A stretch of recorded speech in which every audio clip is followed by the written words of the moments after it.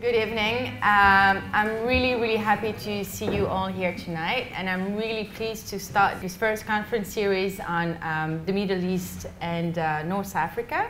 Uh, so tonight we are really lucky and grateful to have with us two amazing guests that I met just a, a few weeks ago when I was visiting the ICC in, uh, in the Netherlands.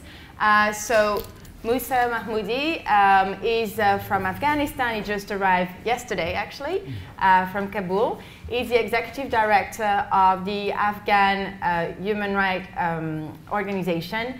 And uh, we have uh, Nema Milaninia, who is uh, the prosecutor at the International Criminal Court in the Netherlands.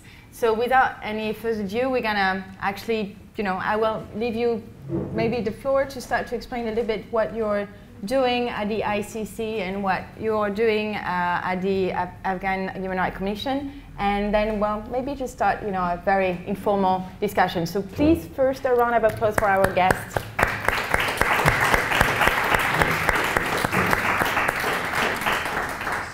So I, I, guess it's on me to begin. So let me make two preliminary points before I get into um, just a brief description about our preliminary examinations into Iraq and Afghanistan.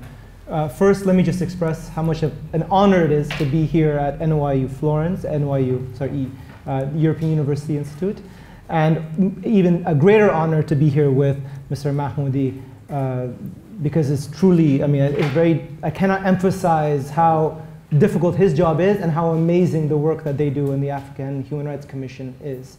The second point I want to make is uh, I'm a trial attorney, not the prosecutor. So before my my, my boss actually fires me for taking over her position. Let me just clarify that.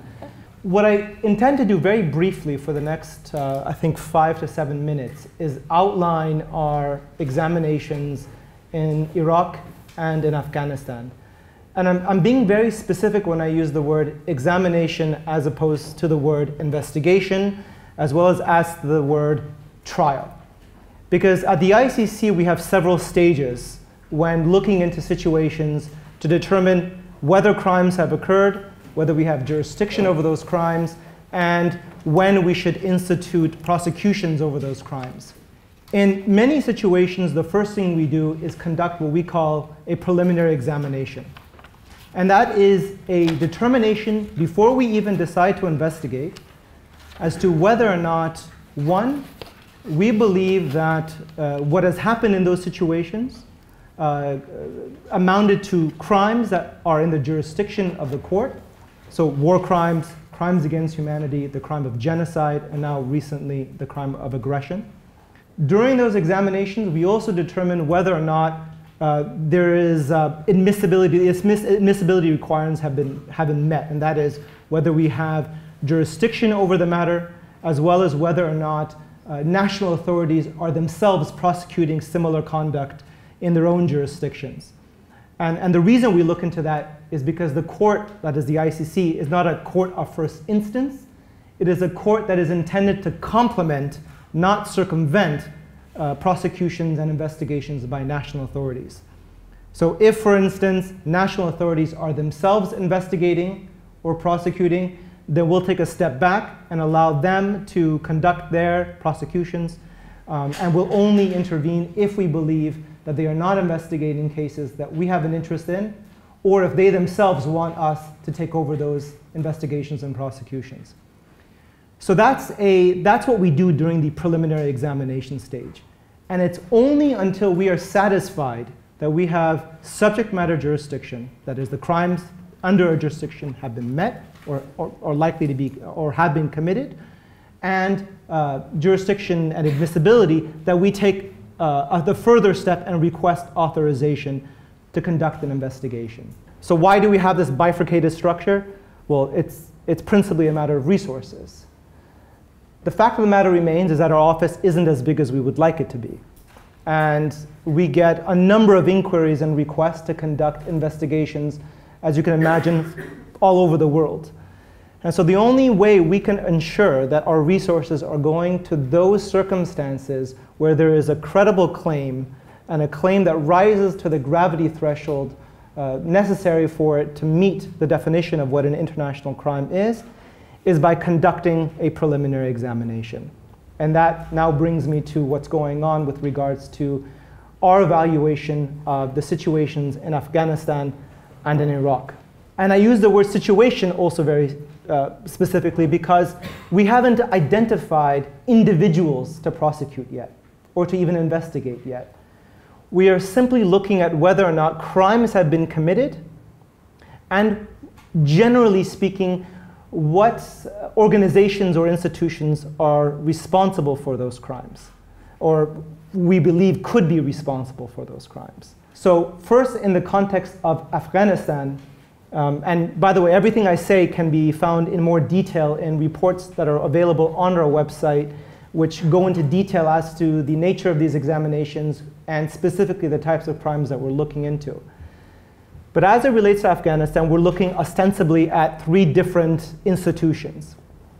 And all three for, for crimes that occurred during, uh, during the initial onslaught uh, of the war that occurred following September 11th, but up until as late as, as late as, excuse me, last year.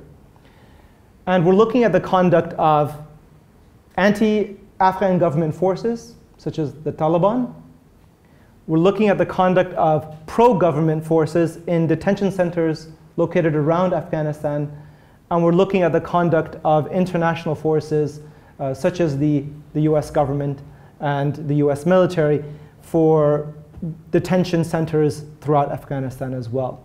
So these are the three subcrimes or the sub circumstances that we're looking at in the Afghan situation, and we can discuss in detail the specific incidents that we're looking at in, in light uh, of those actors. The second situation that is the subject of this discussion is Iraq. And for Iraq, we're looking at only one specific circumstance, which is the conduct of UK forces in Iraq um, with regards to detention centers that they had custody and control over. And the reason for that is due to jurisdictional limitations. The, the, the court itself only can exercise jurisdiction in three circumstances. One is if the, if the Security Council, under its Chapter 7 power, authorizes us to conduct investigations into certain states, such as in Sudan and Libya, irrespective of whether those states or national of those states are parties to the statute of the court. The second circumstance, and this is where Afghanistan falls into place, is where the state itself, that is the state where the allegation of a crime has occurred in, has ratified the statute, in which case we have jurisdiction over any of the individuals who are alleged to have committed crimes in the territory of that state. So for instance, in the context of Afghanistan, we're looking into the conduct of US forces, even though the United States is not a party to the Rome Statute, because the alleged conduct occurred in the territory of a, of a state party to the statute, i.e. Afghanistan. And the third circumstance is when the allegation is against a national of a country that has ratified the Rome Statute.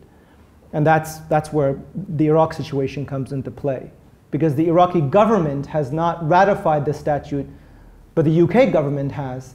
So while we don't have jurisdiction over the conduct of US forces in Iraq or even Iraqi forces in Iraq, because the United Kingdom has accepted the jurisdiction of our court, we do have jurisdiction over the conduct of UK forces in Iraq.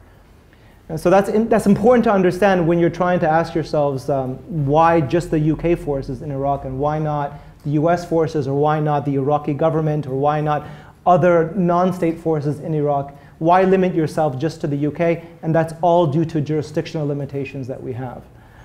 Um, I can continue on, obviously. Uh, there's a lot, to, a lot to talk about in terms of these situations, but I'll reserve my comments on them uh, in, in response to questions posed by Sophie or. Um, so actually, um, I, I, wanted to, to turn to you, Musa. And from the point of view of, of Afghani internal politics, could you just tell us what would be the impact of an ICC investigation, proper investigation in Afghanistan?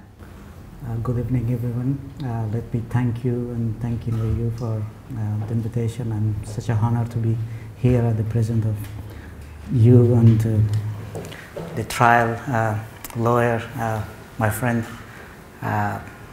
Nina, Nema Milania, Milanina, sorry. Uh, let me express this one that uh, dealing with uh, uh, war crimes in Afghanistan has been very challenging and difficult issue. It's both politically a challenge issue and also because of the capacity of the government of Afghanistan a challenging issue and because there are so many forces, so many groups, so many elements are involved, it's, it's very challenging issues. The Afghanistan Independent Human Rights Commission that I'm the executive director of it, started a, uh, an initiative that we called Transitional Justice, and that uh, was covering a period of war, um, you know, atrocities, human rights violations, and war crimes that happened and committed during uh, uh, nine, 1978 and 2001 and that involved uh, you know, Soviet uh, Union-backed uh, regime, uh, communist regime, uh, the Civil War era, and uh, Taliban um, government. And that was an issue that we wanted when we hoped that it would start an opening for uh, establishing justice in Afghanistan for a long time and for a period that uh, it ensured peace and uh, uh guarantees uh, a sustainable peace for Afghanistan and also provide uh, assurances that it would not reoccur and it would open up for a, a criminal investigation on the cases and incidents that happened during that period and also you know, open up opportunities for compensation and for reconciliation. Unfortunately, because of the challenging issues that I just uh, mentioned to you, uh, those issues were not very much uh, you know, supported neither by the government of Afghanistan, not by the international community.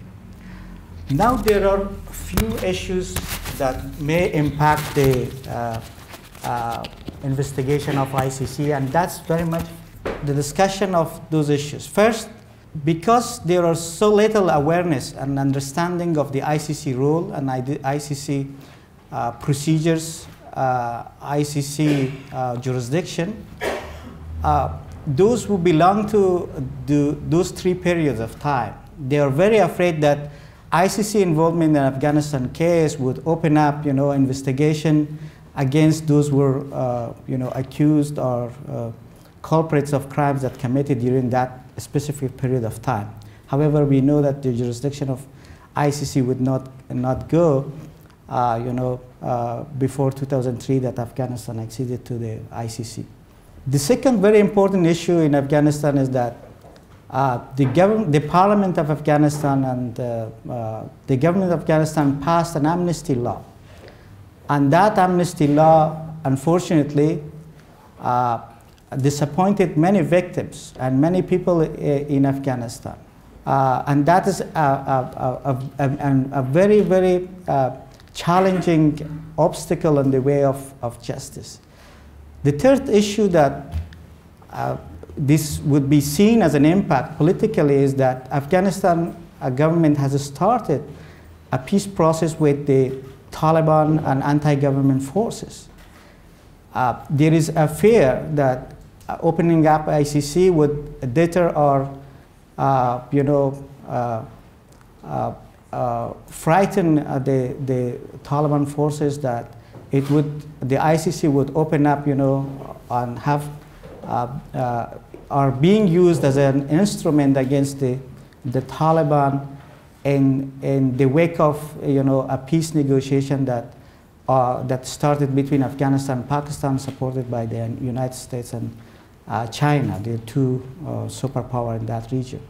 Nonetheless, there is a strong will uh, from the civil society of Afghanistan, from the victim of Afghanistan, uh, victim uh, of human rights violations in Afghanistan, uh, human rights organizations, uh, Afghanistan Independent Human Rights Commission, to make sure that ICC could, you know, ex uh, examine the situation and help to restore justice in a country that will have been uh, destroyed by over three decades of war and uh, in fighting between different factions and also the involvement of the international troops in Afghanistan. So that's, uh, that's a hope. And, and we started just a negotiation with the government of Afghanistan to allow the ICC to, to visit Afghanistan. And I think that is uh, something that is under discussions and under uh, debate there internally, and we hope that it will provide and facilitate a, a, visit by ICC to, to do that. But the situation, without involvement of ICC, the situation would remain very, very uh, difficult for promotion and protection of human rights. Nowadays that I'm talking here, uh, we don't have electricity in Kabul because the power plants were uh, and the, the, the uh, electricity were cut off by Taliban. Uh, we just had a, a, statement yesterday condemning killing of four uh, vaccine, uh, you know, medical uh, aides who were just delivering to children the polio vaccine. we had the killing of Hazara ethnicities in Zabul province that killed by, by Taliban. A few days ago, Taliban uh, detonated a bomb, uh, a suicide bombing, and killed uh, six, uh, uh, seven journalists and injured 20 of them. The other day, they killed over 18 people in Kabul, just you know, on Wednesday.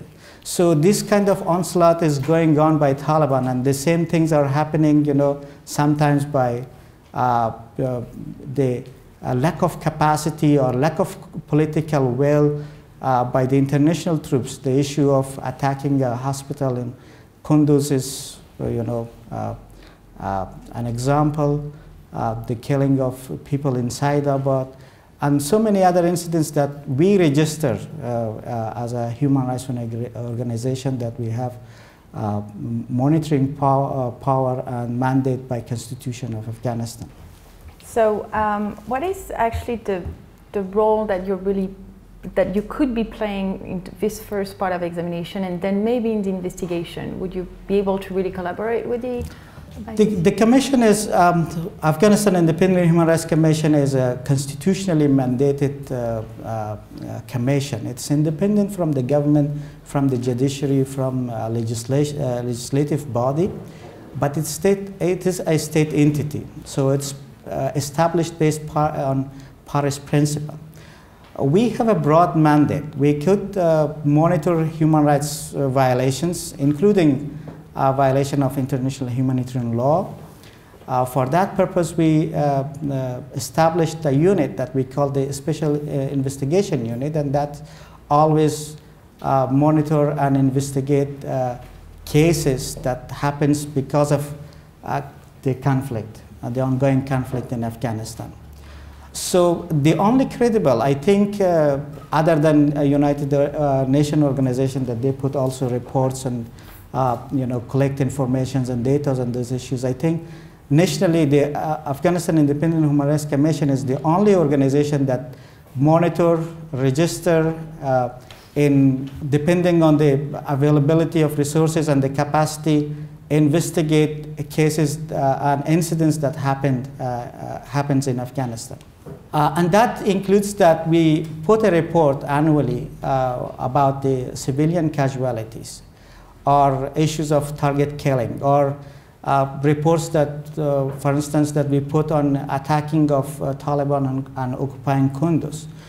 Uh, so we have uh, trained uh, lawyers and investigators. We have a specific methodology to look into those incidents and investigate and examine them and collect information and data and testimonies on those issues. And those things could help in the investigation of the ICC if they start to look into Afghanistan or examine the situation. That's pretty much uh, what we can do, and we are not a judiciary or quasi-judiciary institution, so our power is very limited other than those issues. So actually, um, what are you exactly looking at? What kind of incidents, uh, accidents are you are you looking at um, during Mhm. this preliminary investigation? I mean, during the during the, for instance, we'll take the the the, the situation in Afghanistan.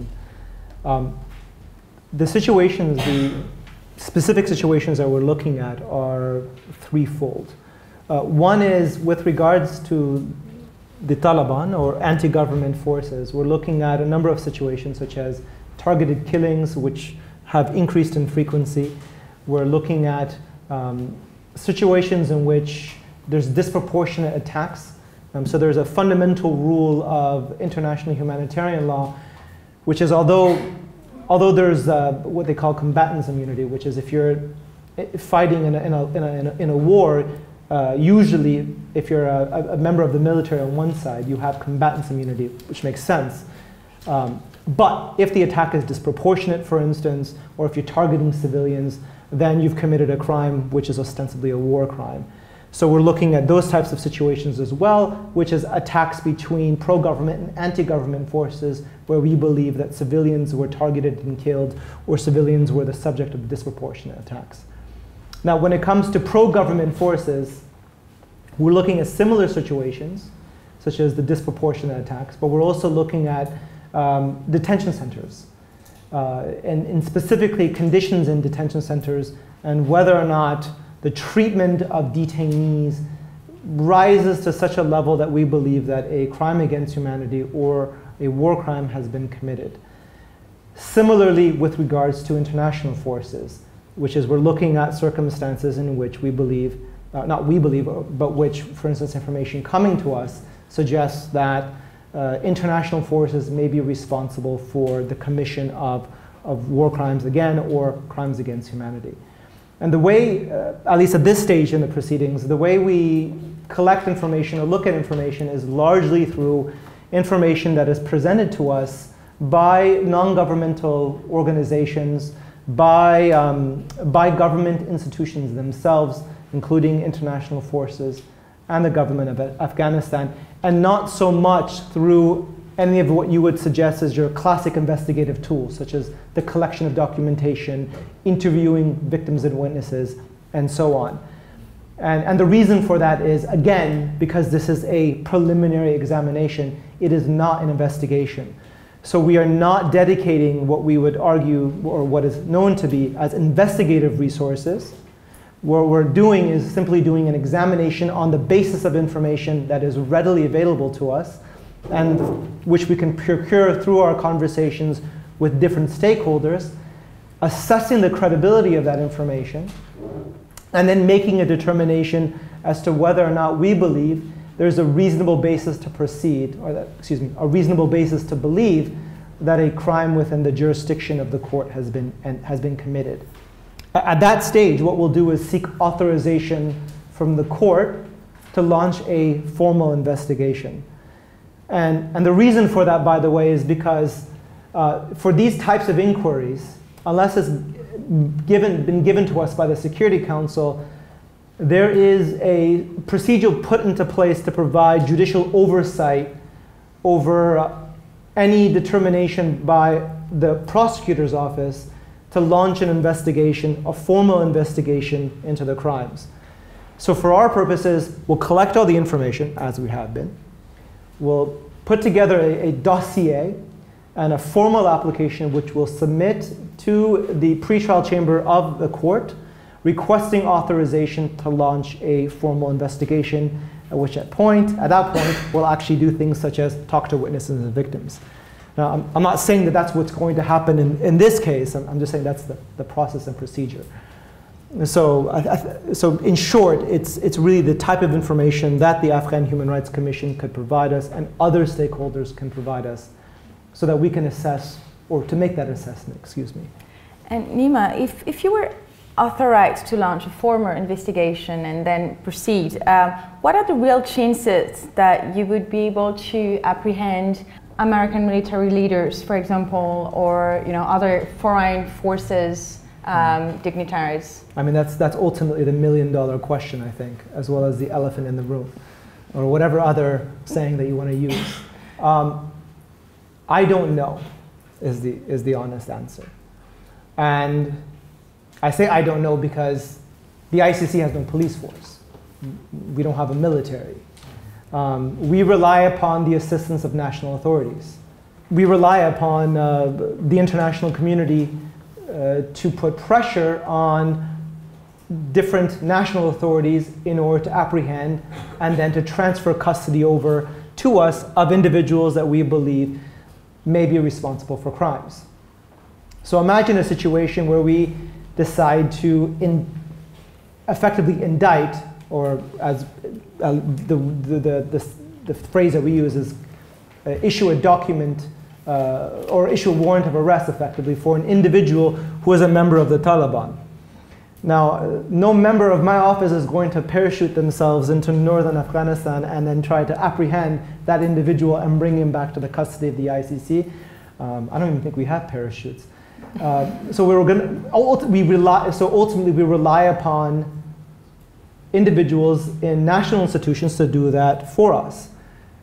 But then that puts them at risk, and the question becomes whether they're, they're able to do precisely that and then transfer the custody of those individuals to us. Uh, so, for instance, one such circumstance where you can see the frustrations and the difficulties surrounding this is the apprehension of Joseph Kony. I think someone that many people in this room are aware of, the, the head of the Lord's Resistance Army in Uganda. Everyone wants to see Joseph Kony brought to justice. Um, I don't know one person who does not want Joseph Kony to be brought to justice. But we can't apprehend him. We can't go into the Congo, grab him, and bring him back and put him at trial. And it's very difficult for national authorities to do the same when they put their own soldiers at risk in those scenarios. So all of this depends upon the willingness and the ability of national authorities to assist us. And the same thing goes with international forces that are operating in Afghanistan. I can imagine a situation where it would be particularly difficult if we were to charge an American official for the Americans themselves to apprehend and then to transfer that person to our custody when the United States hasn't ratified the Rome Statute at all. I can imagine politically, internally politically, that that would be a difficult issue. And I can imagine as a matter of law in the United States, it would be a difficult issue, particularly where immunities exist for political figures in the US government. So for all these, for, for everything that I'm saying, it, it, you can see the difficulties that surround it. But that's not to say it's impossible.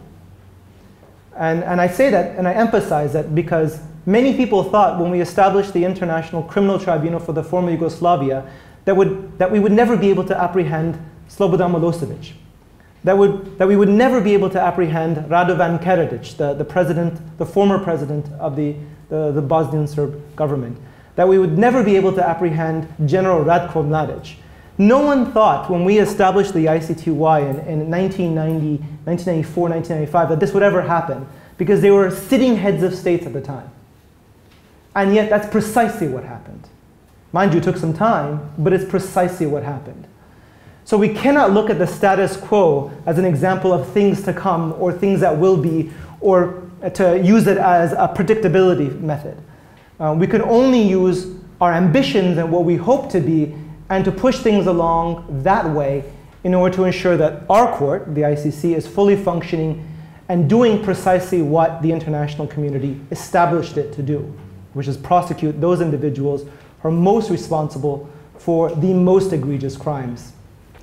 If you don't object, let's speculate a little bit here. Um, and well, what about the ICC was able to only trial individuals from the Afghan government uh, or from Afghanistan and not any foreign states because of jurisdiction issues? Uh, what would be your position and, and maybe the Afghan government position towards that? Well, um, as far as it concerns the international forces, uh, there are you know many countries in Afghanistan that they have forces. Uh, some of those countries uh, already signed the ICC and they are member uh, countries, and some of them have not, and that includes the United States. Uh, any alleged crimes that uh, committed in Afghanistan, and that's under jurisdiction of ICC, uh, uh, that there is one small, uh, a big problem, and that is that Afghanistan government and the United States signed an agreement in 2004 that they would not, you know, charge or submit the inter, uh, U.S. troops uh, to ICC or any other proceedings, and all the power to investigate and uh, put in trial and to prosecute American troops would go to the United States. Itself. And that was repeated back in, uh, you know, uh, agreements that were signed in 2014 and 2013. Uh, that's allowed by ICC itself as well, I think. And that's, uh, you know, in uh, Article 98, it says that the states, you know, could, not, could sign an agreement with other states to not uh, uh, refer cases to ICC. But our belief is that uh, the ICC jurisdiction would not go away. And still, because that, you know, alleged crimes or incident or accidents happened in Afghanistan, the ICC would still have the jurisdiction and power to look into these issues and have it, you know, looked into details of those issues. You heard that yesterday there were uh, or the day before yesterday, the release of 180 photos of torture or uh, inhuman, uh, degrading treatments of detainees in Afghanistan and Iraq, and that was released by Pentagon. There is very much, uh, uh you know, evidence that there were, you know, uh, activities and uh, or behaviors, treatments that could amount to the crimes that is uh, under jurisdiction of the ICC. And that's using the monitoring power the Afghanistan Independent Human Rights Commission since 2004 you know, lobbied and advocated for access to Bagram detention centers and all other detention centers around the country to be accessible to the uh, Afghanistan Independent Human Rights Commission. Unfortunately, that opportunity were not given to us, except that a final agreement that we signed with the uh, uh, American forces in 2010 that we have got access to Parwan detention facility that was a newly built detention facilities and all detainees were brought from Bagram and other places uh, to that Parwan base, which is actually the Bagram uh, detention facilities.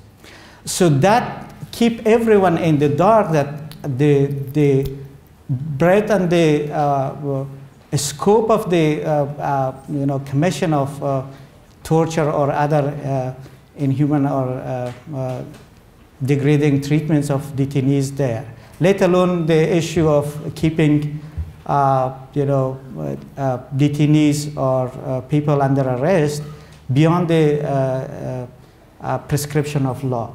So that's also an issue that we have repeatedly found in Afghanistan and reported that you know, there are uh, a large number of people uh, detained by either international forces or Afghan forces, and they were kept, you know, uh, in detention facilities without uh, proper trial and beyond the prescription of law. So that kind of issues happened in Afghanistan, and I believe though Afghanistan uh, government would not, you know, pursue the risk of, uh, you know, uh, a challenging relationship with the United States, but uh, people were looking for justice, would, uh, hoping that ICC would remain engaged on, on looking at those details and issues that you know, is evident, and uh, now by the release of these pictures and photos by Pentagon, I think they also have um, uh, confirmed that some of those uh, actions were committed really there. Thank you. Well, from um, the, the, situation that uh, Musa described earlier, mm. and, and, again now we understand that there are still crime being committed today in Afghanistan that may uh, be qualified as war crime. Mm. So, as well for the ICC, what is the you know the set date or the limit date that you have now in your preliminary examination? I mean, you mentioned until 2015, but mm. I mean the crimes are going on and on. So, what? How do you how do you manage this? Yeah, you know? my, my understanding is that the preliminary examination, because so the jurisdiction of the the court, the temporal jurisdiction, uh, begins unless the state itself says it can begin prior to it. at the, the, date of the ratification of the Rome Statute. So, as in, in, the case of Afghanistan, it begins in 2003, unless the Afghani government inserts a declaration saying, well, no, you can have jurisdiction for events prior to that, but no more prior than when the statute came into, into place, which is in, in July of 2001. So, from that point on, we have jurisdiction, and it, it doesn't get cut off at any point, actually, because it's still a party to the statute. So we would continue to at least have temporal jurisdiction over incidents, even those that are committed to now.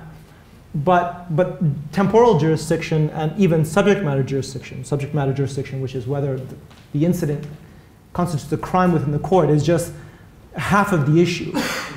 The other half of the issue is this issue of admissibility. Because, and and I mentioned this before, we're not a court of first instance. The ICC is intended to complement national prosecutions, national investigations. And so the thing, our examination, at least, the thing that the, the part of our court, the part of our office is doing right now with regards to Afghanistan is to determine whether or not there are national investigations into these crimes. So, for example, uh, the Department of Justice in the US government has itself conducted an inquiry into CIA detention centers. The D Department of Defense, which has jurisdiction over the military, has suggested to the Committee of Torture, which is the, uh, the, the, UN committee that evaluates torture um, allegations, that it has done over a thousand cases with regards to the treatment of uh, detainees by the US Army. So what, where does that leave us then? I mean, that's something that our office has to evaluate with regards to whether or not the US government is taking its role in terms of investigating and prosecuting individuals within its military and political branch who may be responsible for these crimes. And it's only if we believe, or we have reason to believe, that they're not doing anything, that we will then step in and either as a positive matter, make recommendations to the US government to do something, or decide to push forward with a formal investigation and prosecution of individuals who we believe to be responsible. That's the stage that we're at with regards to Afghanistan. We're doing a complementarity analysis, which is our national authorities in the Afghan government, our national authorities in the US government, is NATO, because NATO is also involved, such as, for instance, with regards to the um, hospital attack that was mentioned earlier, are they doing uh, something themselves to investigate? And something to keep in mind is if those forces do do an investigation, but determine that actually there's not enough evidence that would suggest that there was a crime committed by those forces, that doesn't necessarily mean, for our purposes, that, that, well, okay, fine, I guess we can now continue with our investigation. It may mean that we do nothing and respect the decision by national forces that there was simply insufficient evidence uh, to continue with a uh, prosecution for, for, those, for those crimes. So it's a, it's a much more complicated matter than, yes, there were crimes, thus let's prosecute. We have to look into whether or not the national authorities themselves um, are looking into the matter uh, and what they have determined on the basis of the evidence in which has been presented to them. Well, before we open the floor, I'd like to ask you um, a last question. Um, both our community here at, at, NYU and at the EUI are, are, very concerned with the current refugee crisis. And, and I really would like to know what's your perception from, from the Afghan side of, of such a situation and, and the response of maybe the, the lack of coherent response uh, being, being made by, by the EU uh, today.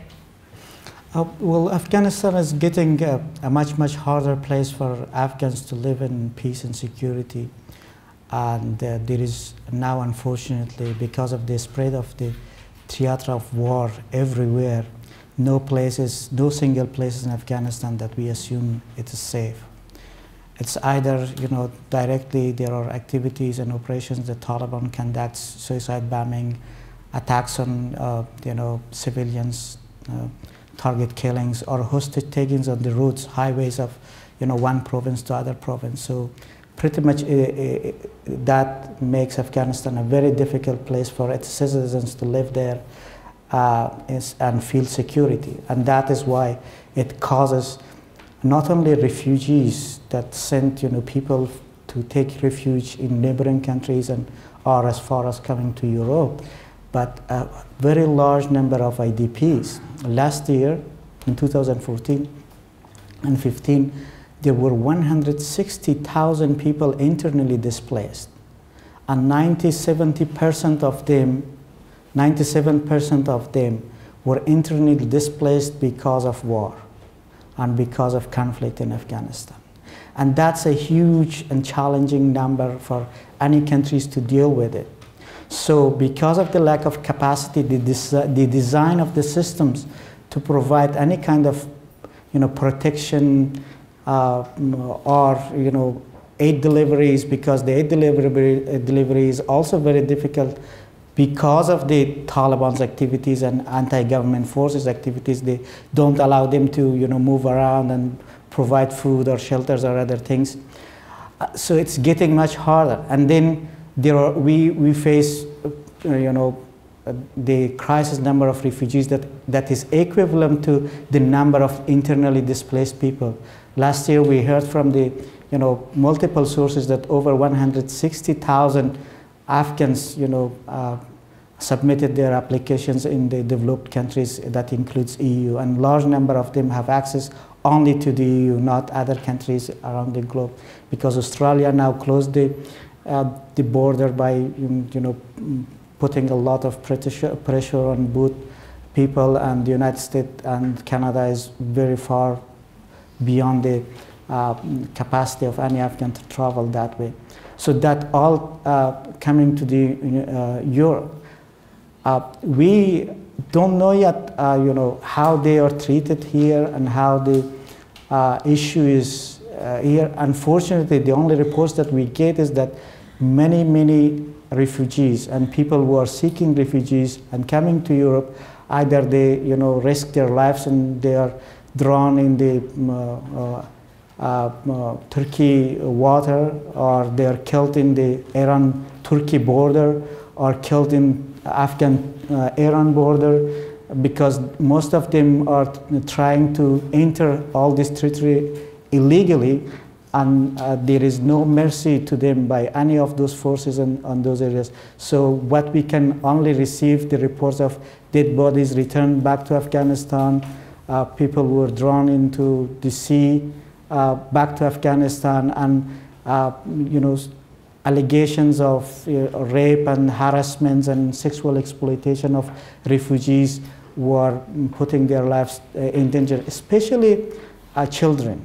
They are very vulnerable and you know, a big portion of the refugees are children who are either lost their families or their families remained in one the war zone and they could uh, get the opportunity to get out the war zone and you know couldn't find any place in in the surrounding areas. And then uh, you know they are uh, preyed upon by uh, predators uh, like you know Uh, traffickers who just you know uh, uh, make them to believe their their promises that they would get them safe to Europe or to other countries. So that kind of situation is very, very difficult. And we, we have the, the, the lowest number of returnees last year. Uh, it was around uh, four to 8,000 people returned from Pakistan or Iran. And unfortunately, there, there are also a few hundred people who are forced to leave European countries and deported to Afghanistan, which would put uh, you know, many of their lives in danger in Afghanistan.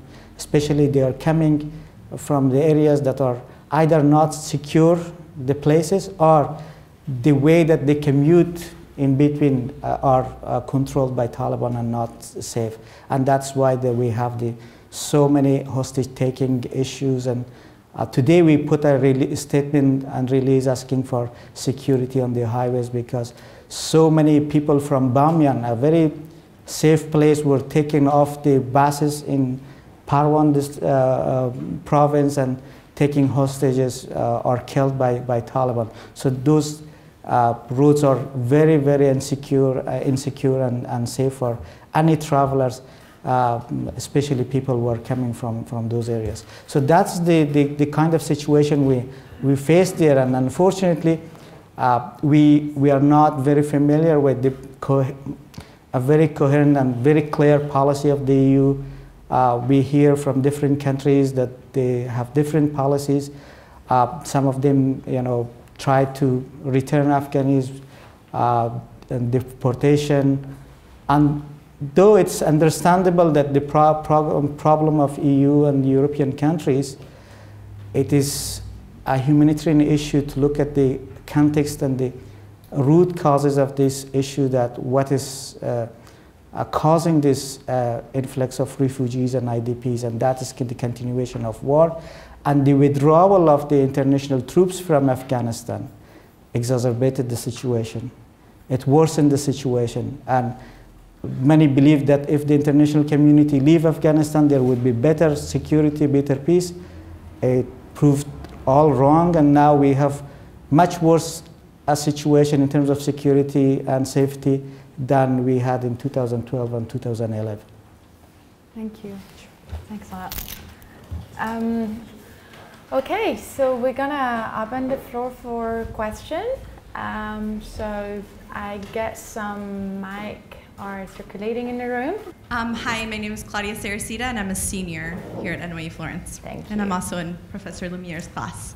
Um, so, Nema, you said that um, the ICC relies pretty much is not the first, works with national governments to make sure that they're may, how do I put this? So they work with national governments to make sure that they're um, analyzing and making sure that whatever processes, you gave the example of the CIA detention center in the United States, um, that they're analyzing their own, what's the word? Culpability would be the perfect word for it. So um, I guess my question is, at what point does the ICC get involved? So if in the example that you gave with the United States, they do do the entire process of um, holding or making sure that they're holding themselves account accountable. At what point does the ICC say, okay, yes, they've done their due diligence and they have found that they there was no fault by the country? Or does the ICC at some point say, we do believe that there was a fault even though they said that there was not? Is there a secondary process in which the ICC goes back and says, we don't accept your investigation? And does the ICC then get involved? I mean, that's a good question. Um, before I answer the question, I should have probably gave it, I'm such a bad lawyer. Uh, the opinions, of my opinions, are that of myself and not of the ICC or of the office. so I forgot to give that little caveat and, and, knowing that this is going to be published uh, online, it's probably better that I do it now than, than never. Um, getting, getting to your specific question as to the issue of complementarity, because that's what it gets at. Mm -hmm. And it's interesting because um, it's a very difficult question because we haven't necessarily had that situation happen yet. I mean, what we're doing in the, in the situation that I just described before with regards to Afghanistan and particularly the conduct of US forces and other international forces is looking at whether or not they themselves are doing investigations. Now, your question gets more specific, mm -hmm. which is what if they're doing the investigation, they make a determination that there's no culpability, but one needs to question whether or not um, th there's good faith in that determination. I mean, the rules technically allow us to look at that precise situation. They, they specifically say if a state conducts an investigation for the purpose of shielding the individual. Mm -hmm. So in other words, it's clear that there's, there's an intent behind just looking at the facts and determining whether or not a crime has been committed, but it's done for the purposes of shielding that individual, then complement complementarity uh, doesn't prevent us from conducting an investigation or from taking jurisdiction of the matter. So that's actually carved out um, in the statute itself under Article 17 as an exception to, to, the rule. Now, there, are, there is a circumstance right now, actually, in the, in the case uh, with regards to Libya, where we have two accused. We have uh, Muammar al-Senussi as well as uh, Saif al-Islam, um, who we've charged. The Libyan government has, has agreed to carry out a prosecution against Senussi. And so we've said, okay, uh, we're not going to exercise jurisdiction of that matter. We'll wait and see as to what's going on with regards to that case and monitor the situation to determine whether or not We believe they're actually investigating and prosecuting the crimes for which we believe have been committed or alleged to be committed. Um, so with Senussi, we, we have a situation where complementarity has kicked in. Mm-hmm. Then we have a situation with Saif al-Islam, who's in the custody of the Zintan militia, which is uh, located in uh, the Zintan area in eastern, in eastern Libya, where we say, hey, listen, uh, even though you're saying you're, you're prosecuting Saif al-Islam, there's, there's a lot of suggestions to believe that there's no right to due process being guaranteed for Saif. He's not really in the custody of the Libyan government. He's in the custody of a, of a militia group. And so therefore, we're not, we're not giving over jurisdiction on this matter on the basis of complementarity. We retain jurisdiction and we're requesting the Libyan government to transfer him to our authority. Now, obviously, of course, they're and obviously, yeah, in that situation, if the Libyan government had custody over him, he wouldn't be in the custody of a militia group. So there's a there's a problem there as well. Yeah. So you see complementarity kicking in. Now, the, what I think is the interesting thing with regards to Iraq and Afghanistan is that at the end of the day, they're testing the edges of complementarity, right? It's not like the UK government is, is flouting the law and allowing its citizens and soldiers to, uh, to commit acts of violence in detention camps. They have just as much uh, interest in seeing that their soldiers respect the laws of war as we do. And, and because of that, it's, it's incumbent upon the court, and the court does work with the UK authorities to see, for instance, if they are actually in good faith investigating such matters, and as a positive matter, working with them to see if, for instance, there's things that we can provide and they can provide us with regards to evaluating the situation. And it's the same thing with, with respect to what's going on in Afghanistan truly does test the issue of complementarity. Because, as I mentioned before, it's not as if, for instance, the United States government is sitting on its hands. It's not as if, for instance, the Afghan government is sitting on its hands. There is something being done by both governments. The question becomes is enough being done such that uh, we don't exercise jurisdiction over the matter, we don't authorize an investigation due to complementarity, or uh, do we say no, not enough is being done? And if not enough is being done, then the question becomes, I think, okay, fine, let's go forward with an investigation. Or do we try to persuade national authorities to do more? Because at the end of the day, I think we all get, um, get more out of the fact that our governments do more to prosecute and investigate than the ICC becoming a bigger, uh, larger institution and taking over these matters uh, as a matter of first instance.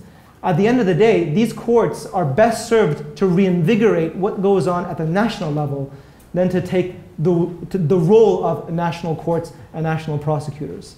And quick follow-up question. How much does the pressure from the international community help the ICC in working with national governments? I mean, it's fundamental. Um, and I can just give you an example with regards to what happened at the ICTY, the, the former, the, tribunal uh, for the former Yugoslavia at the end of the day, if you, if you, if you look at the success rate of the ICTY, which is phenomenal, by the way, I mean, they've been able to apprehend every single individual that they have indicted. Every single person that they have indicted, they've been able to apprehend and to carry a case against. Um, not, I'm not saying they've convicted all of them, but they've at least been able to process cases against all of them. And why is that? Because they had the full backing of the international community. They had the full backing of the European Union, which told national authorities that they will not allow them to join the EU unless there was a clearance provided by the ICTY prosecutor with regards to their cooperation with the court. So I can guarantee you, if any of those states said, no, we're not going to cooperate with you, uh, the ICTY prosecutor would not have gone up to the EU and said, oh yeah, that's good, let them in. No, not at all there was backing by the Security Council and Security Council me uh, members to also uh, invigorate the ICC, ICTY processes. Uh, so for instance, uh, the ICTY had access to the security and intelligence apparatus of many of the Security Council uh, members uh, in terms of accessing information, accessing where the crimes themselves were committed so that they can carry out an investigation. So the, the, the support that was given by the international community um, with regards to the crimes that were committed in the former Yugoslavia was, was instrumental in ensuring that the court itself and the office of the prosecutor at the ICTY could carry out, carry out its role. And now look at circumstances where you don't have uh, that international support, and I'm not going to name those now, but you can, you can take a look at them with, with, with regards to some of the cases that we have at the ICC. And you can see that simply speaking, without the support of the international community, it's very, very difficult to collect evidence, to bring charges, to apprehend individuals, and to carry out a trial in a fulsome way. So, uh, you know, if you, if you want to talk about the most important thing in terms of the success and failures of these trials, that is the most important thing, which is the support of the international community. Okay, um, my name is Varun and I am a freshman. Um, my question was about the, um, the amnesty um, agreement that was Law. law Yes. the amnesty law that was um, in Afghanistan. Now, I mean, who does that protect, or who was that in written or created for, like preventing to get acquitted? Uh, The amnesty law was uh, initiated by uh, a strong uh, Mujahideen bloc, uh, uh, those who were in uh, parliament at the time, because to shielding and protecting them against prosecution or allegations that they committed war crimes during the uh, fighting, uh, infighting in Afghanistan civil war, which was uh, a period of uh, 1992 until 1995, and during the Taliban time, uh, 1995 to 2001. Because at the time there were, uh, you know, in Afghanistan parliament, uh, MPs from all three eras, you know, from the Soviet uh, Union invasion eras, that the communist regimes, and Mujahideen and Taliban, representative of Taliban. So they put a blanket amnesty to everyone who involved in committing atrocities, human rights violations, and war crimes in Afghanistan. So that is actually a blanket to everyone, a, blanket amnesty offered to everyone who were engaged in war and committed atrocities and violations of human rights. Good evening. My name is Luisa Vierucci, and I'm a professor of international law at the University of Florence. So, thank you very much to both speakers.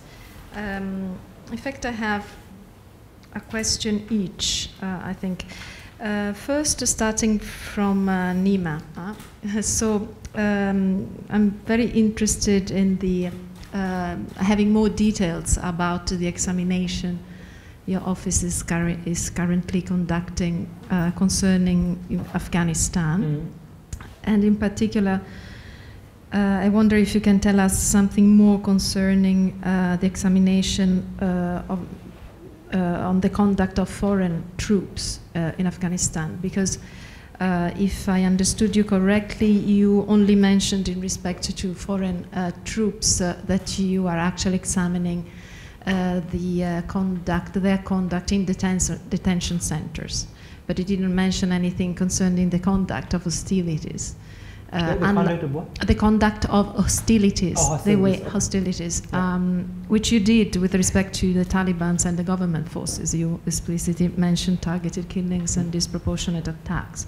So I wonder whether there was, you know, an omission, an omission, or actually there is no investigation, or by contrast, if there is no investigation on those uh, types of uh, acts uh, allegedly committed by the international forces. Yeah, I- can only I can only say this. I can say, even though, uh, as a matter of well, uh, first I'll backtrack.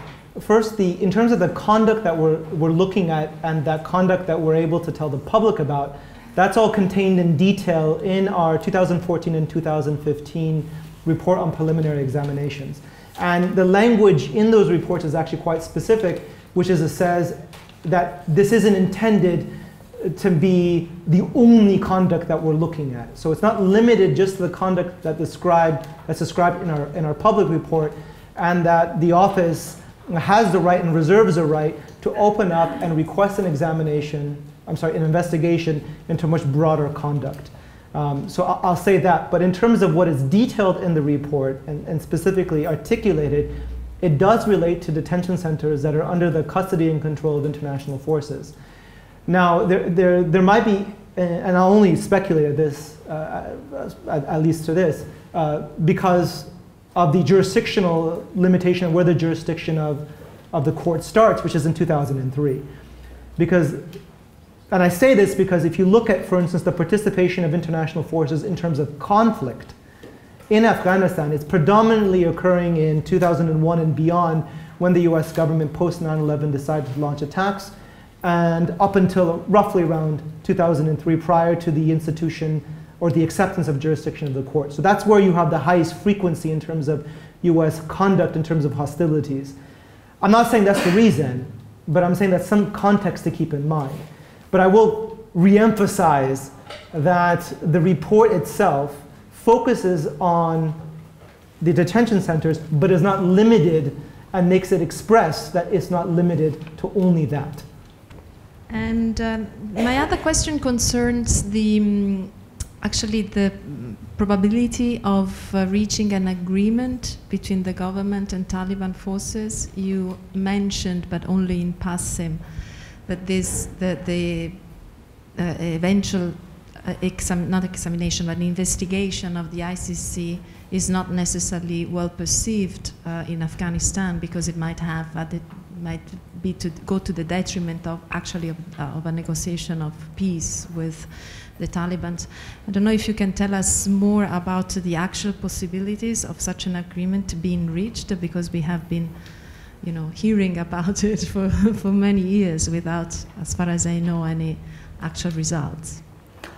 Uh, well, thank you very much. Um, it's uh, very important questions, and uh, that question actually preoccupies uh, Afghanistan, uh, you know, citizens' minds and civil society and activists and human rights uh, and women rights uh, uh, defenders. whether we would reach an agreement with Taliban, if we reach an agreement with Taliban, at what cost would the government of Afghanistan or the international community would relinquish on you know, the past achievements that we have made in Afghanistan. Uh, what about the constitution of Afghanistan? What about the women rights in Afghanistan? What about human rights in Afghanistan? What about child, children rights in Afghanistan? What about you know, minority safety and security in Afghanistan? And how about justice? If you look only you know, on the number of civilian casualties from 2008 up to 2000, for 2015, over 39,000 uh, people, you know, civilian casualties in number registered by the IHRC.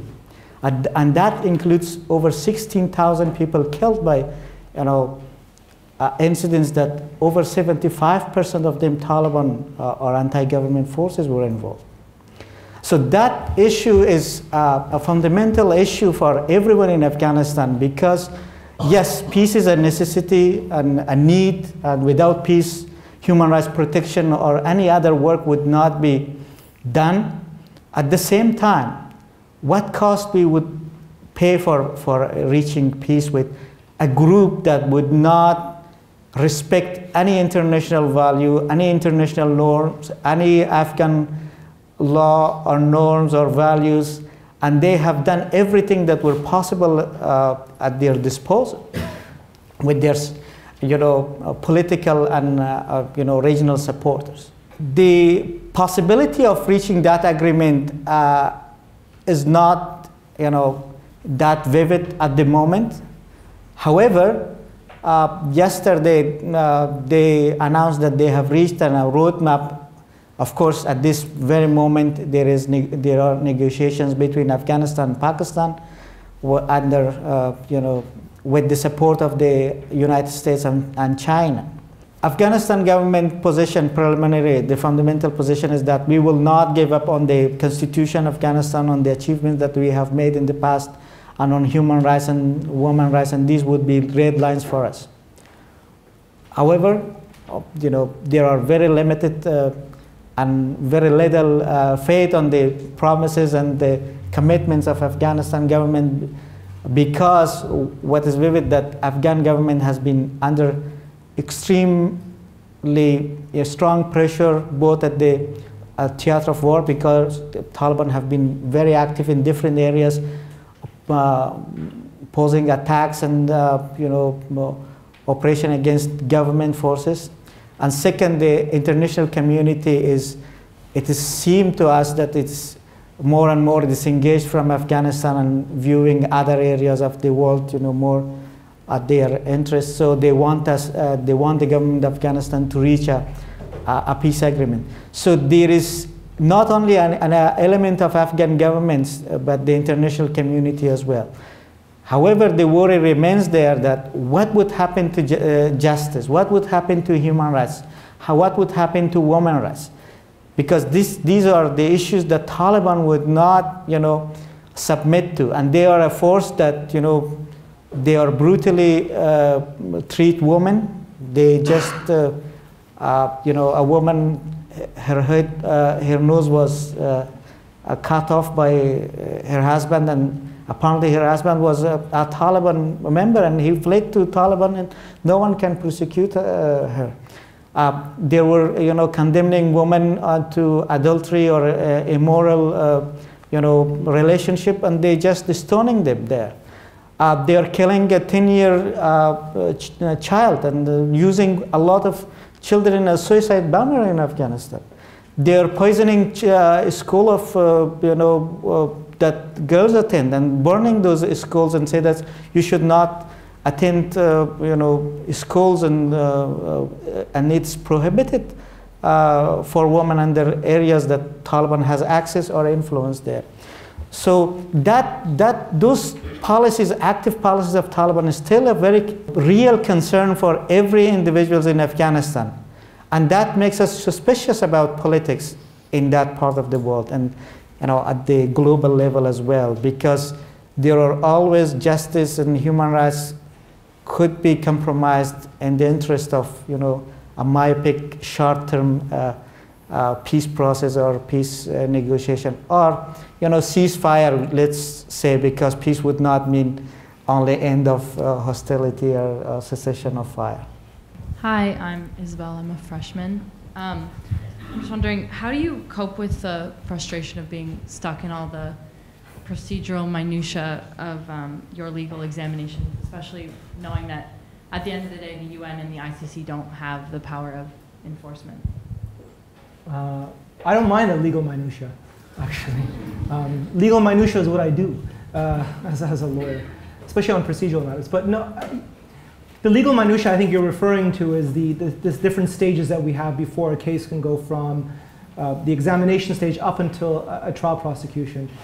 And, and that was obviously deliberately provided by the, by the framers of the, of the Rome Statute for a number of reasons. One is you, you, you ostensibly need a preliminary examination stage at a court, at an institution like the ICC. You cannot take every case to investigation. It just it would be impossible, um, especially if you have to look at every single allegation and then make a determination as to whether or not to investigate you simply cannot take all of those allegations and conduct an investigation uh, due just to sheer numbers. I mean, you have, I think, something along the lines of hundreds of inquiries for an investigation uh, delivered to us on a weekly basis. So imagine if we were evaluating and doing an investigation into each of those, each of those allegations, it, it, would, it would hamstring the court from doing anything. And so that's why you have to have a preliminary examination stage in order to filter the types of situations out to be able to determine which one of those meets the various requirements of subject matter jurisdiction, personal jurisdiction, temporal jurisdiction, as well as admissibility before deciding to launch a, a formal investigation.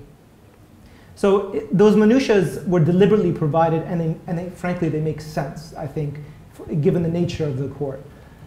Um, in terms of, I think the frustrations you're probably getting at, which is the frustrations of support by the international community, um, at least for myself, I can only say I don't put the cart before the horse. Which is until, I, I, until there's a circumstance where I can tell the international community is not assisting on a case that I'm dealing with, I'm not taking for granted that the international community is not going to assist us. And I think as an office, I think we, have, we are evaluating cases on the basis of the evidence and the facts presented before us, and not on the basis of political considerations that may or may not bear out. Frankly, yeah, I, I, as, as direct as I can get to you, which is our responsibilities as prosecutors is not to take into consideration political matters and whether or not we can apprehend an individual who is or rightfully subject to our jurisdiction, but rather to make an evaluation on the basis of law and the facts presented before us. So those frustrations may inevitably hamper our ability to carry out trials and investigations, but they don't hamper the resolve of either the office, from what I, from what I personally have seen, nor the resolve of the court to, to do what it's been established to do. My name is Weber. I'm a sophomore. Um, what do you do in situations where you have sufficient knowledge of war crimes taking place in areas where you have no jurisdiction? That's a, that's a good question. I mean, there's very, it's very difficult to do anything in those circumstances.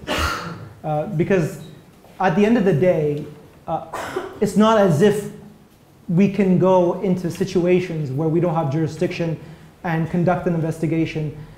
And it's also not as, it's not a situation in which we really can opine upon given the deliberate decision by that state or the nationals who are involved to not agree to the court. So at least from, from and I could be absolutely wrong, but at least to my knowledge, our, our institution has not opined on those issues yet and left that to the decisions of uh, the international community to determine what actions it should take in those circumstances. So one such example, I think, uh, which is discussed a lot is the circumstances in, in North Korea. Our court doesn't have jurisdiction over North Korea unless the Security Council decides to refer the matter to our court, in which case we would have jurisdiction over whatever, whether or not crimes are being committed in North Korea. So in those circumstances, it's not really up to us to say anything or to do anything. The responsibility is on the international community to decide what steps it should take and whether or not it should include international prosecution and investigation. I'm Sasha from, um, I'm a freshman. I won't hold that against you. um, how do you decide what makes um, targeted killings compared to collateral damage? I mean, it's mostly, a, I mean, it's obviously an evidentiary matter. Um, and it all revolves around the information that we have presented before us. But the primary inquiry that you would look at is whether or not there's a military target in terms of whether or not it's clear, basis, on the basis of information that we have, that the target uh, that was trying to be attacked was a military target, and if it wasn't, whether or not the attack on the non-military target was deliberate, in which case it would be a targeted killing so it all depends on, it depends on a number of things. It can depend on, on, things such as, for instance, the, the nature of the artillery used. So for instance, if I'm dropping a, a, a bomb in, in, in, in an area where there's clearly a military target, then probably the analysis is going to be more upon disproportionate attack than on a targeted killing. On the other hand, if it's a sniper attack and the persons being killed are civilians, women and children, politicians, individuals who have no relationship for instance, with, with the conduct of hostilities, then that's more clearly an incident of a targeted killing than a, a disproportionate attack. So it's, it all depends on the, on the factual matrix that we have and, the, and the, the information that we have available to us in terms of the character of the attack itself, like the weapons used, the orders that were issued, and so on. Hi, my name is Helen. I'm a freshman here at um, Florence. Um, my question is for Musa, which is, you've talked about these astounding number of atrocities that happened in Afghanistan and Iraq. And in your opinion, at which point do you think countries all over the world will put aside their political complications with one another and realize that this is not only a war amongst people in the Middle East, but a war on humanity? And then they decide that we have, we have our differences, but this is the number one priority. When, what do you believe, and what's your opinion that, that at that point we'll start doing? Well, something about it. Thank you very much. That's a very good and fundamental question for everyone to ponder around and uh, ask it. Uh, I think uh, there are a lot of uh, flaws in the international system that we now live in, and that's whether it's you know uh, from international law point of view or from you know political point of view or from international relations point of view. Uh, because we don't have a perfect world and without a super legal uh, structure uh, that punishes uh, or bring those to uh, justice that commits this kind of war or breaches and violates international law.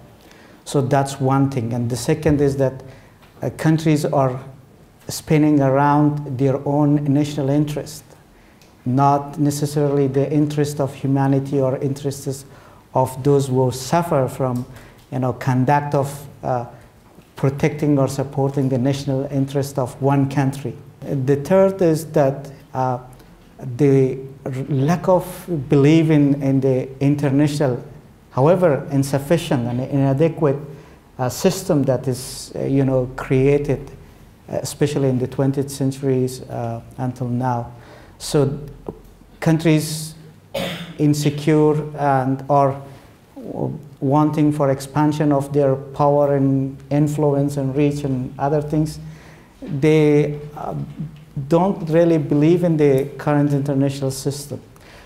So until and unless otherwise we we try to make sure that the international system works perfectly and the uh, structures like ICC would find a, a weight and a, um, uh, a role, the things would continue like this. And uh, uh, the plight of Afghanistan would be on the interest of one country, and the plight of Syria would be, uh, people would be in the interest of some other countries, and the uh, misery of Iraqis would be in the interest of other countries.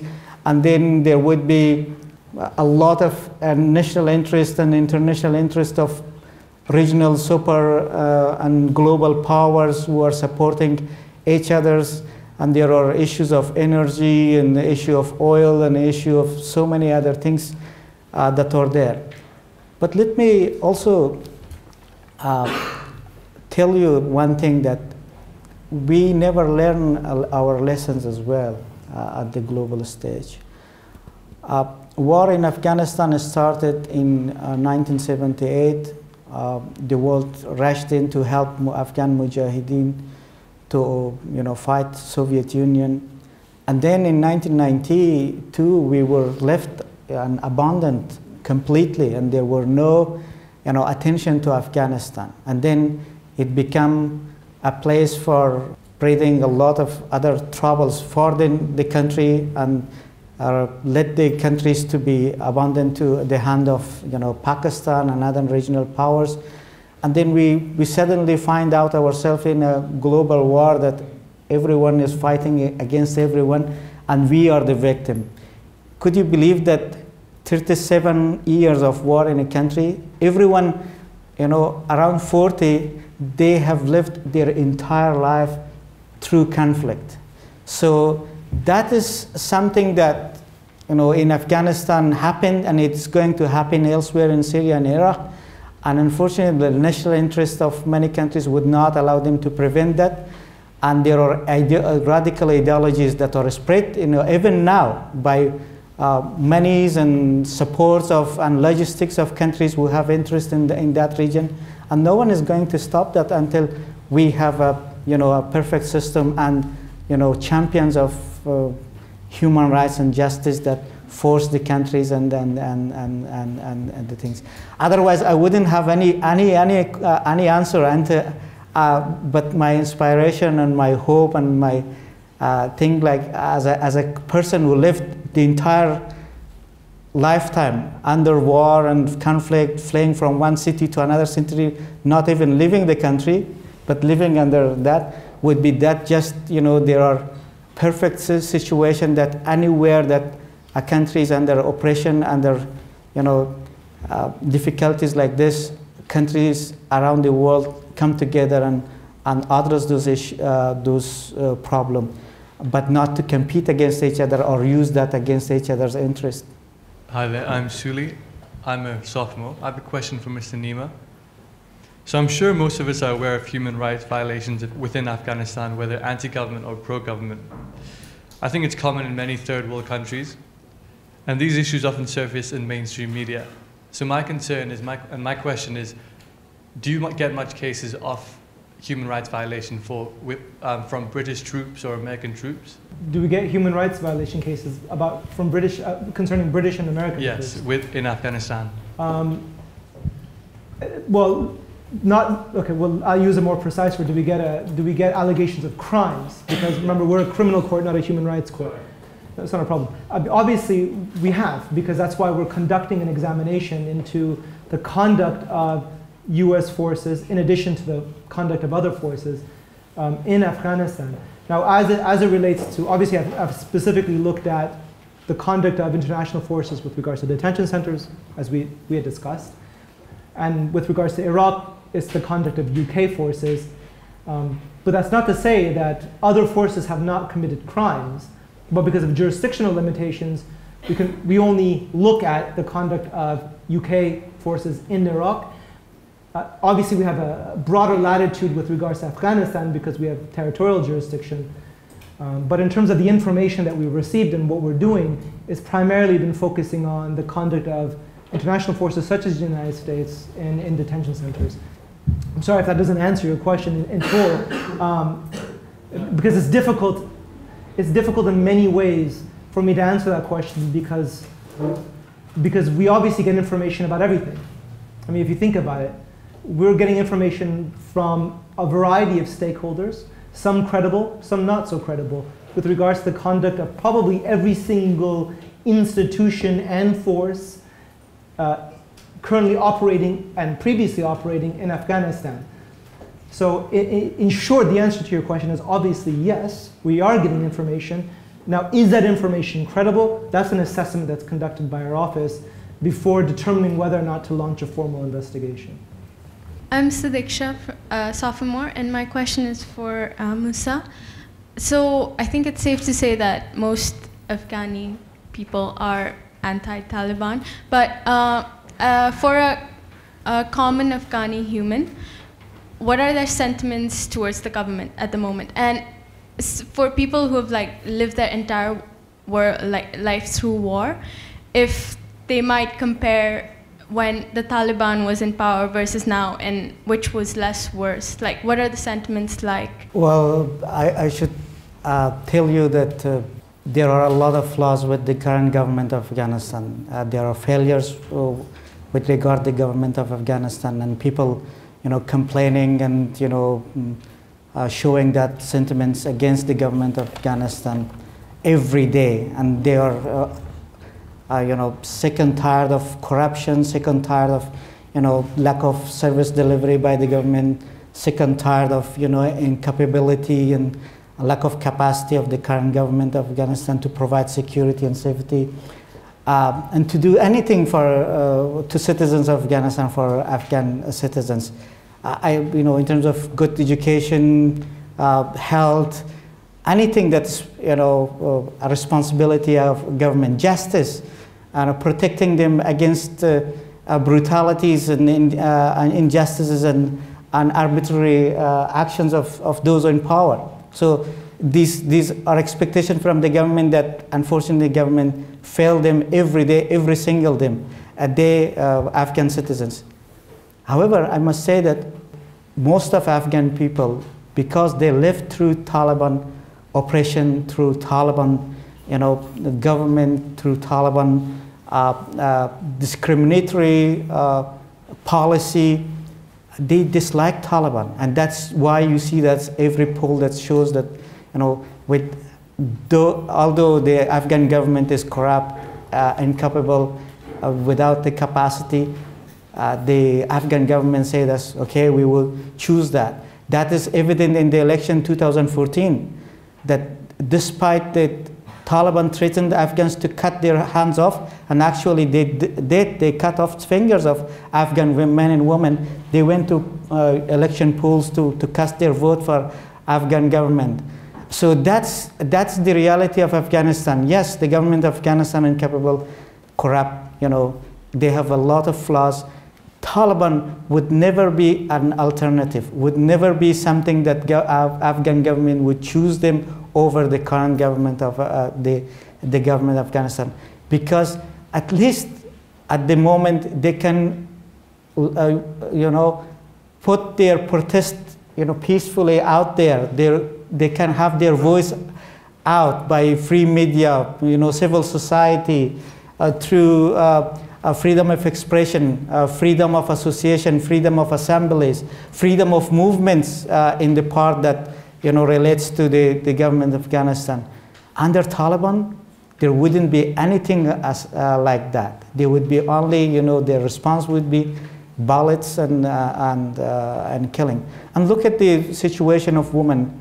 Although women are, you know, restricted because of insecurity, because of uh, ongoing war, and they are bearing the brunt of all kind of, you know, tragedies today, of war, uh, you know, uh, drought, uh, natural disasters, poverty, everything.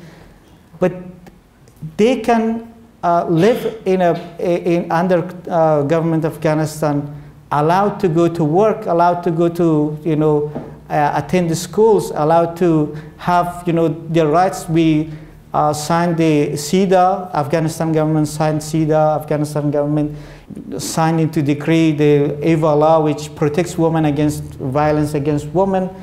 Uh, and also a lot of improvements on, on, on children uh, situation, a lot of improvement on legal issues. And one of the issues that relates to the ICC uh, complementary issues in Afghanistan, it's that, you know, the capacity of judiciary in Afghanistan is so low that even though they want to do and prosecute people, they cannot do it. They are uh, incapable to, to do that. And they don't have that capacity there are no legal you know, uh, provisions uh, as such that uh, they can implement or uh, apply uh, provisions of ICC unless otherwise we would go to uh, incorporate that in, into our domestic law because we are a dualist system in terms of legal approach.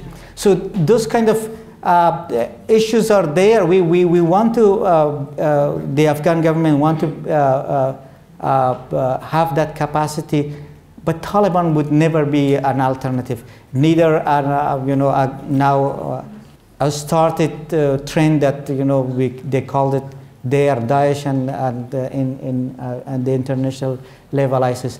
They would not be uh, a choice for Afghans unless otherwise they conquer all Afghanistan by force and force Afghans to, to live under their oppression. Thank you. Thank you. Well, I think that was very clear. Well, let's thank our guest, please.